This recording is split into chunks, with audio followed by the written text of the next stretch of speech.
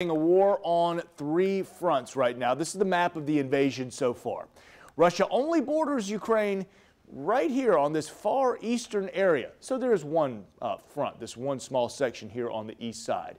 But naval forces in the Black Sea are coming from the south also. Russia has annexed Crimea. Of course, that gives Russia access to the Black Sea, but it also strategically put them right in an area to come at Ukraine from the south. Russian forces also entered the country from Belarus. That's in the north, just north of the capital city of Kiev. Uh, Belarus and Russia, uh, not one and the same, but certainly friendly to each other. That's how they have been able to take control, or at least on their way to taking control of the capital of Ukraine. At last check, that tank column coming in uh, from the north out of Belarus down towards Kiev, as you see that far uh, red arrow there, it's uh, just about 20 miles from the outskirts of town now.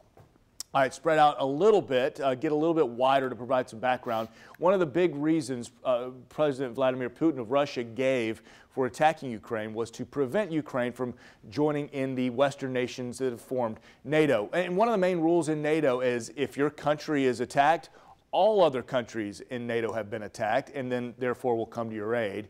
Uh, that uh, includes everyone from Turkey essentially all the way over to the United States. Becoming a member nation has been a goal for Ukraine and current Ukrainian president. They became an enhanced opportunity partner to NATO in 2020, but there are many reforms needed before they could officially join. Russia invading now to prevent that possibility, perhaps uh, providing their own blanket of security as well.